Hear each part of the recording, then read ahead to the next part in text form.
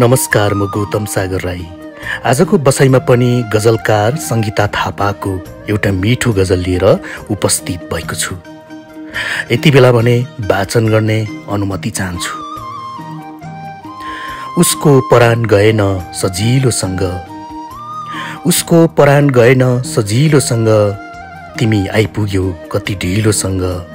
उसको परान गएन सजिलोसँग। हिलोमै हुर्किएर कमल भएको हुँ। हिलोमै हुर्किएर कमल भएको हुँ। मलाई प्रेम छ त्यहीँको हिलोसँग। उसको परान गएन सजिलोसँग। तिमी नै भनिदेऊ तिमीलाई बिर्सन। तिमी नै भनिदेऊ तिमीलाई बिर्सन। के खाउँ यो आँसुको नुनिलोसँग? उसको परान गएन सजिलोसँग। मिल्न नजान्ने हामी मान्छे मात्रै हो। मिल्न नजान्ने हामी मान्छे मात्रै हो। गुलियो पनि मिल्छ अमिलोसँग। उसको परान गएन सजिलोसँग। धोकाको अध्यारोमा राख्नु रहेछ। धोकाको अध्यारोमा राख्नु रहेछ।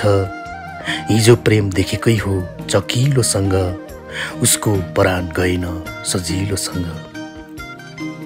यो बुढो आँखामा पनि अतीतको। यो बुढो आँखामा पनि अतीतको फोटोहरू आउँछन् धमिलोसँग उसको परान गएन सजिलोसँग। काटिएको पत्तै पाएन यो मनले काटिएको पत्तै पाएन यो मनले उसको याद आयो धारिलोसँग उसको परान गएन सजिलोसँग तिमी आइपुग्यौ कति ढिलोसँग उसको परान गएन सजिलोसँग। धन्यवाद।